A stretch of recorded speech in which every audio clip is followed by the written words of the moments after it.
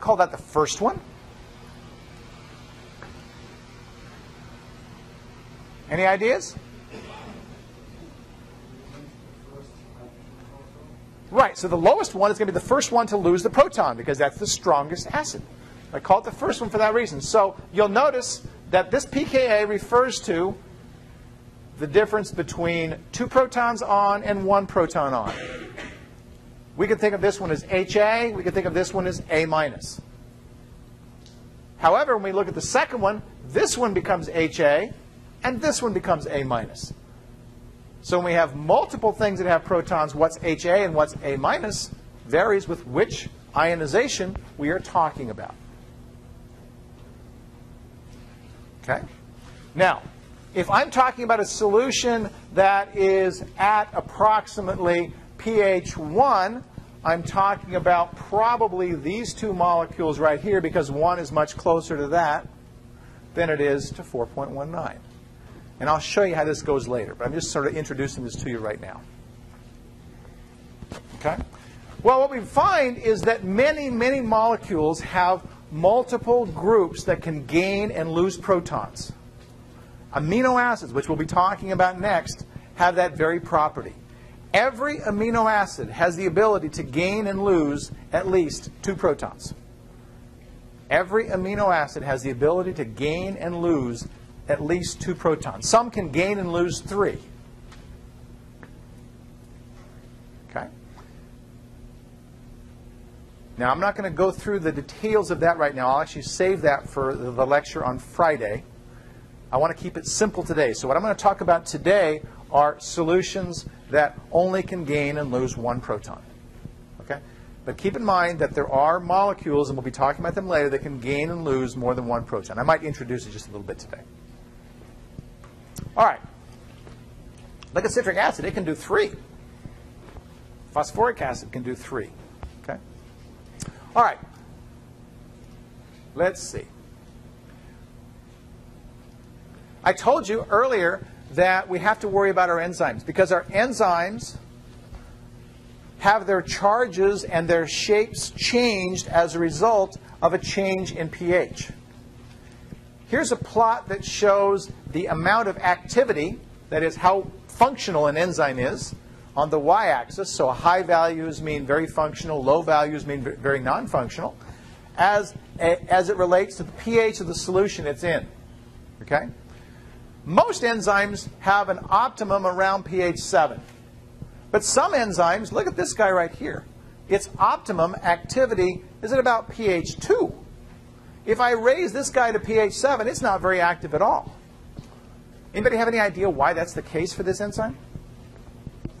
It's in your stomach. Okay? And so that enzyme has evolved in my stomach. That enzyme has, is in a situation where it darn sure better be able to work at a low pH because that's the pH of my stomach. Most enzymes don't have that property.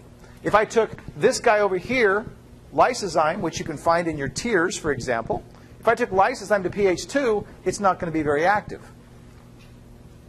I don't want to pour any pH 2 stuff in my eyes to find that out. Okay? I'm sure you wouldn't want to find this either.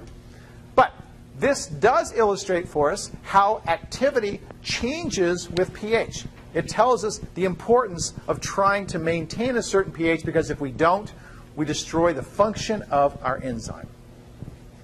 If I were to take and screw up the pH of my stomach, my pepsin would not work either. Okay. So, now, how many people when you're in general chemistry had to do titrations? How many people like doing titrations? A very small percentage. I hated those damn things too. Okay? And you had to spend drop by drop by drop, and the pH doesn't change, and oh my God, I'm going to be here forever, and oh my God, there's a baseball game out there I want to go to, and blah, blah, blah, right? You know the feeling, right? That's what happens when you do a titration. The reason that that happens is because you're titrating typically a buffer. And the buffer is resisting at a certain point that change in pH, that change of proton concentration that you're adding. Okay? Well, let's look simply, and actually let me get a little bit better one here for you. There's a better one on here. Okay. Let's first of all think about what the buffer is doing, then we'll titrate it. All right? This is a very, very good illustration of what a buffer can do. And there's a problem or two in the practice problems that I gave you where you'll see exactly this phenomenon happening. If I take a solution of water, pure water, nothing in it but water, and I add to it 1 milliliter of 0.1 molar HCl, okay, and I think this was uh, probably about 100 mils here if I recall correctly, what happens is the pH goes from 7, which is that of pure water, down to pH 3 by adding 1 milliliter of 0.1 molar HCl. I've added protons. There's no buffer. Pure water is not a buffer. There's no buffer there. So whatever protons I add, that's what I've got. If I have a buffer, remember the buffer is able to absorb some of those protons. And if I have a buffer that is in the right pH range, when I add that same amount, the pH goes from 7 to 6.9. The buffer has resisted that change in pH, and I'm set. The same thing happens if I add sodium hydroxide. Sodium hydroxide takes away protons. So instead of having pH 7, it goes up to pH 11. The buffer, it goes from pH 7 to pH 7.1. The buffer has resisted that change in the concentration of the protons. In this case, something taking away the protons. Well, if something is taking away the protons, how does the buffer resist that? How does the buffer resist the loss of protons? haven't said that one. I've talked about how it can donate protons or how it can absorb protons. The answer is I just gave it away. I just said what it's got to do is it, it's able to donate protons. What the buffer has the capacity to do is either to absorb, pro absorb protons or donate protons as necessary. And that's the magic of the buffer. The ability to donate or absorb protons as necessary. That is what the titration curve is designed to teach you. Okay? Here's the titration curve. This titration doesn't use acetic acid. It uses a phosphate solution. The phosphate solution, okay, there's one of the molecules in the solution. There's the other molecule in the solution. Which one's the salt and which one's the acid?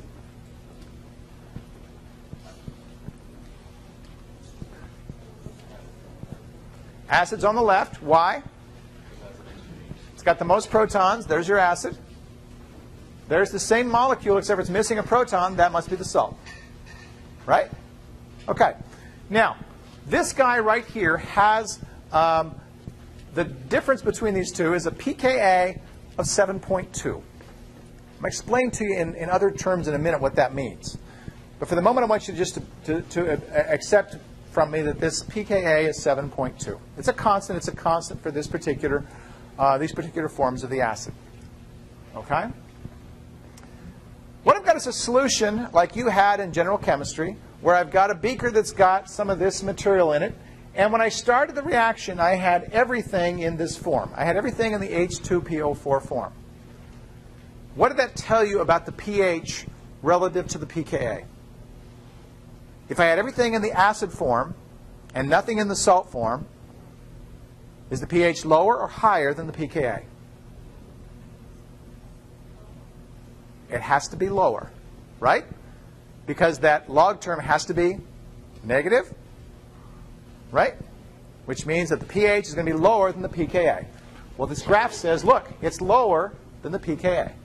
The graph is consistent with what I just told you, right? On the other hand, if I had everything present in this form, we see the pH is higher. That tells us that we have to have more salt than acid, right? Make sense? People are grudgingly saying, yes, I see. Okay, it's sort of making sense. Okay. Now, well, how do I go from here to here? Well, in the, experiment that you're doing in the general chemistry lab, you're probably, if you're starting down here, you must be adding a strong base to it because you're taking away protons, right? To raise that pH, you got to raise, you, you got to take away protons. So you're adding a strong base, and each drop of base of strong base that you add causes that pH to rise, rise, rise, rise, rise, rise a little bit. Look what happens as it starts rising. At first it rises very rapidly, and then it sort of flattens out. Now, I find that students are very good at recognizing flattening out, but not very good at telling me what flattening out means. And I'm going to tell you, I'm not going to quiz you. I'm going to tell you what the flattening out means. The flattening out means that the pH is going up very slowly as I'm adding the same amount each time of more strong base. The pH is not moving as much as it was over here. When I went from here to here, which might be one drop, okay? So if I go each step one drop, from here to here, I go from here up to about right here. The next drop goes from here to here, it doesn't go up as much. Next drop doesn't go up as much. Next drop doesn't go up as much. Next drop, and finally I get over here and it starts going up faster and faster and faster and faster. You with me on that? There's a magical place here called the inflection point. And the inflection point is magical because it's at this point we have equal amounts of salt and acid. Equal amounts of salt and acid. And if I have equal amounts of salt and acid, based on the Henderson-Hasselbalch equation, what can I say about the pH and the pKa? They are the same.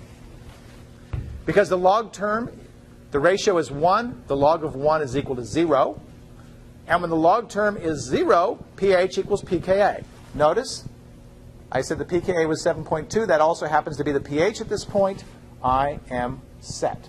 Now, notice that the inflection point is where this guy is rising the slowest. The slowest rate of increase is happening right here. What that tells me is that for this solution, the maximum ability to absorb or give off protons occurs when pH equals pKa. I'll repeat that. The maximum ability of this solution to absorb or give off protons occurs when pH equals pKa. That's a mouthful of way of saying that. I like to say that the maximum buffering capacity happens when pH equals pKa. The maximum buffering capacity occurs when pH equals pKa. Remember that.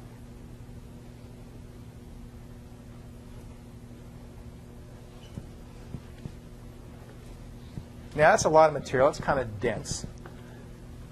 Questions on that? You think you could interpret a curve like I just did? A few say yes. A lot of squinting. No questions? Well, to kind of help you with this, I actually created a little bit of a study guide I'd like to work with you, and I'll, I'll need your assistance with me on this, okay? So, um, please join me um, in this, if you would.